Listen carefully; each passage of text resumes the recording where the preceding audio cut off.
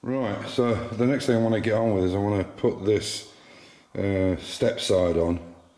Um, and the way I did it, did it originally was is uh, we welded uh, basically an L shape uh, box section and then it went underneath the, the uh, side step or the running board I should say and the unfortunate thing was is uh, even though it's made of 3 mil steel the outside of it, uh, now it's been sandblasted, is quite thin here, so I actually need to weld this back up.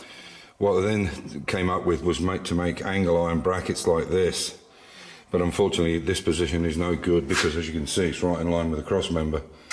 So I built them like this, which is better because it's further forward, and then it bolts through the back there. I can put a plate on that if I need to. What I've done then is I've got a second set here which will now go on the back part I'll get it leveled up. I have to put the front wing back on obviously because I have to work out where it's going to come to here. Uh, and then I can attach, so it'll be attached in four places. It'll be, uh, there'll be two L-shaped brackets here, one here.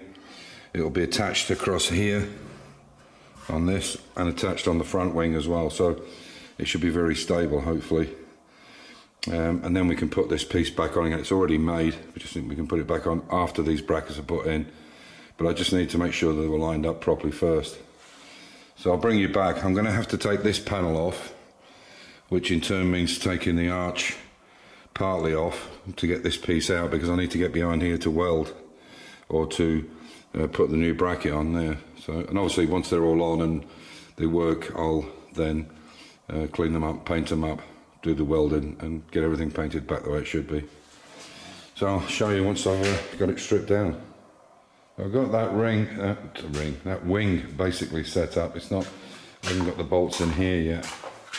I've only put the two bolts under the wing support, so I'll, I'll strap that down and then I can work out exactly where that running board needs to go. Um, so that's the one bracket there. So there'll, there'll be one support coming down the L shape here.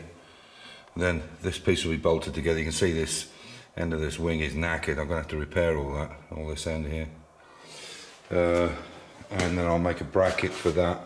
And then the other bracket has to go in there, in between. So I need to take all that weld out. That means I have to take this side brace off and the arch and everything. But I want to just get it in position first and make sure it's going to work. And, uh, and then go from there. But yeah, it's coming on. It's all painted up, it'll look really nice. It's quite heavy because it's that uh, uh, tubular that's been cut in half to make the, the round bit on the end here. But it's coming on. So that's the mud guard, the, the, the sides and the side bracing. Uh, so now I can get to all these where I need to clean everything up and repaint it. a few holes you can see here. Uh, and basically these are the brackets that it all sits into on the top and then there's brackets in here as well internally. So what I need to do now is take all this weld off here. I don't know if you can see it very well. It was welded on the side so I've got to clean all that down. But um, yeah. Yeah just don't know if I can get to the bolts with that in place. So let's see. Um, might, might just. Might just be able to get to them there. Otherwise, if I go under there, it's going to be hard to get to them. I need to take the cab off to do that. Anyway, that's uh, that's the next job. And uh, then I can set this on there because I say it's quite substantial this. You can see the way I've uh, made it. Welded it all the way through there. I'll maybe put a couple of braces across as well. But you can see how it's how it's a half moon shape. I've already cut the other side. That's, that's quite substantial but you better stand on it easily or ride on it in fact.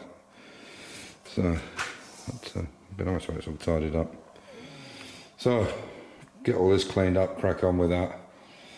um, get any holes welded or get it get it um, grind grind down first, and then weld up any holes.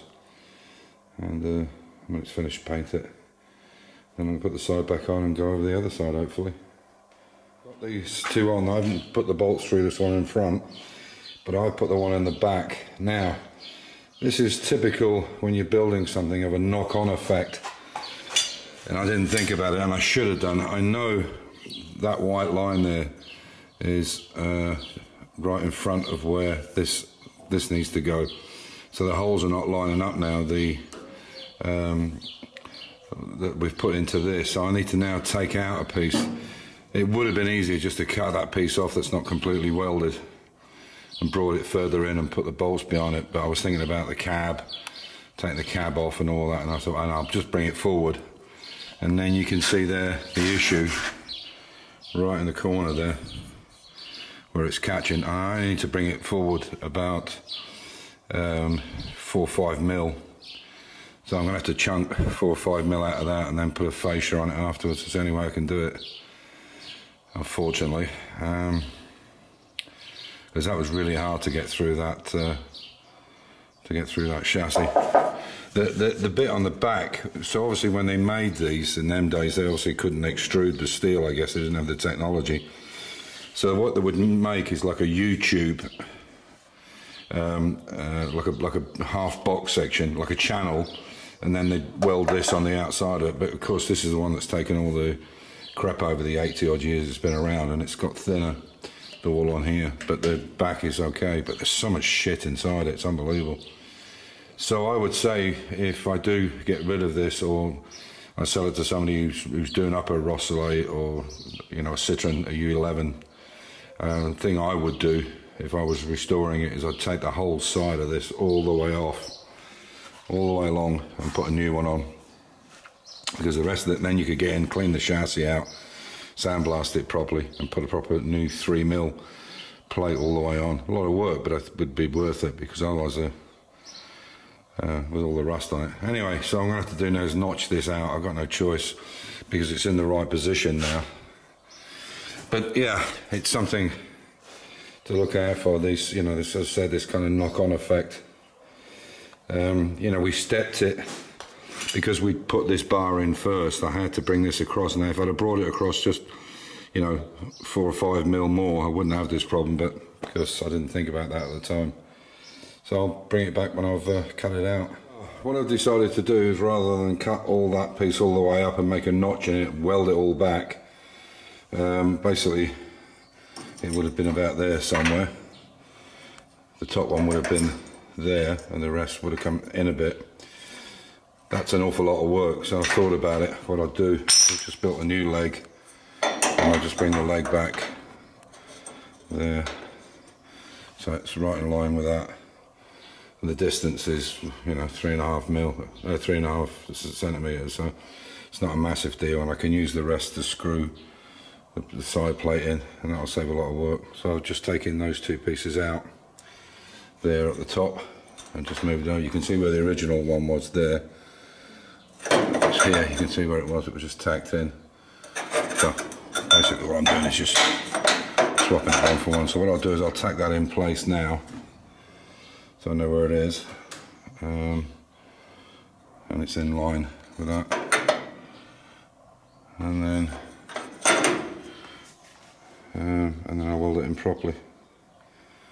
So that's uh, you've got to kind of resolve these things as you go along but uh, it should be okay I think I'll roll it in now and I'll bring you back it's not actually on it's just it's, it's just sat on it if I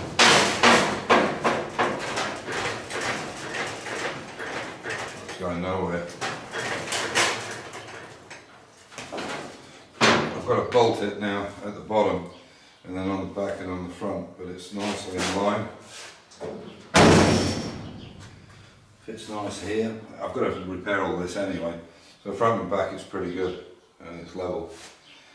Well, so uh, just clean all this up and then start the other thing on the other side. So um, there's no point in showing you both sides. Um, uh, but as I get on during the next week, uh, Amir left on Wednesday and he'll be gone for at least a couple of weeks. Um, so I'll probably put one up each weekend or something. Uh, and I'll show you where I'm at, at that. So yeah, I'm pretty happy with that. That's, uh, that's the job. So as usual, stay safe, keep the faith, enjoy your hobby, and I'll catch you in the next one. Take care.